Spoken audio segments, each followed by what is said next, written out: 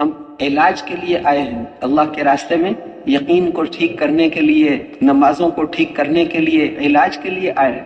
हैं इलाज में दो काम ज़रूरी होते हैं। एक तो दवाई खाना ज़रूरी है। दवाई नहीं खाई तो दवाई अस्पताल की बदबू सूंघने के और कोई फ़ायदा नहीं हो। दूसरा काम जो ज़रूरी है, वो परहेज करना। डॉक्टर साहब कहते हैं, आपने चीनी नहीं खानी। आपने ये चीज़ रोटी नहीं, कम खानी।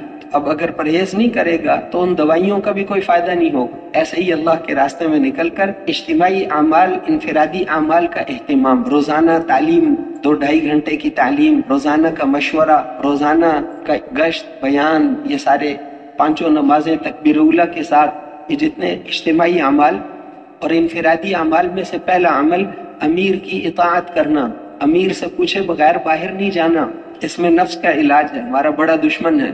सुन्नतों का अहतमाम जितने भी इज्तमाही इनफरादी अमाल हैं, ये ऐसे है जैसे दवाई खाना। और जिन चीज़ों से मना किया है, उनसे बचना, ये परहेज करना है। मोबाइल में चीज़ें नहीं देखनी, उसमें नहीं लगना लायानी में नहीं लगना, गीबत नहीं करनी, ये जितनी चीज़ें इनसे बचना, इसलिए बचना पहले ज़रूरी है।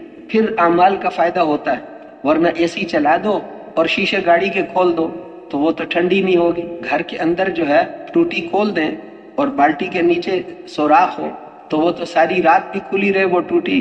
वो बाल्टी नहीं भरेगी। इसलिए कि जाया हो रहा है। तो अमाल को जाया होने से बचाना। करने मुश्किल होते हैं। नूर अंदर लाना मुश्किल होता है। एक चक्कर लगाओ, खुद ही बिगड़ जाएगा। बाज़ार के एक चक्कर से अमाल की हिफाजत। वो कहते थे, नौ नौ साल हमने दिल का पहरा दिया है। इसमें अल्लाह का गैर न जाए। तो मेरे मोहतरम भाइयों और दोस्तों, इसलिए करने वाले अमाल को करना और बचने वाले बचने वाली चीज़ों से बचना दोनों ज़रूरी है। फिर फ़ायदा होता